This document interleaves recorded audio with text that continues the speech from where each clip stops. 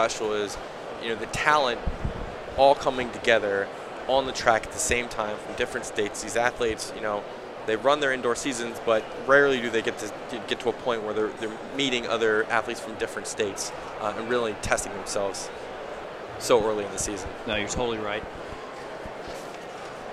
Next up on the track is the girls 600 meter dash uh, featuring looks like four athletes. Uh, Abby Comella in lane two, Michaela Rose in three, Athing Mu in five, and Vanessa Watson in six. It looks like Cherokee Young from Hydel has scratched. Uh, she was a talented runner from Jamaica. But Athing Mu is the girl to watch. Coming off a win in the AU 400 last night against the phenom Kayla Davis in 52.5. Never run a 600 will be your first test at the distance against Vanessa Watson, one of the country's best from New York.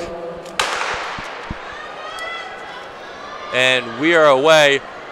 Mu's in white. Vanessa Watson on the outside is in that dark jersey. Watson's gone 130 for 600. Uh, has some experience there.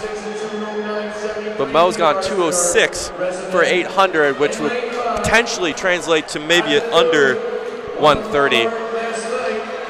And uh, another athlete to look out for, Michaela Rose. Uh, young athlete, but run has run 256 for the thousand.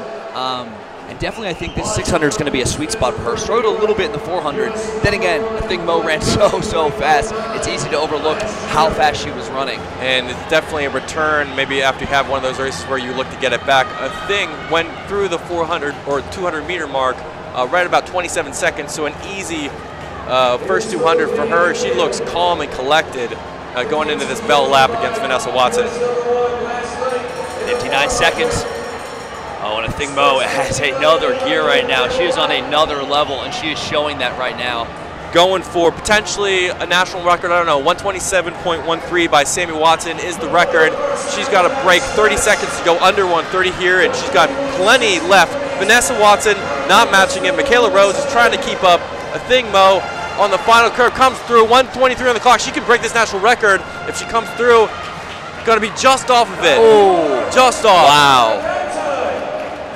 128.54 for a thing Mo, a second over the national record, but all time, it's got to be up there.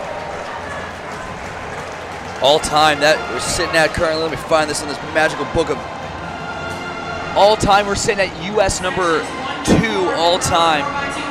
That was unbelievable.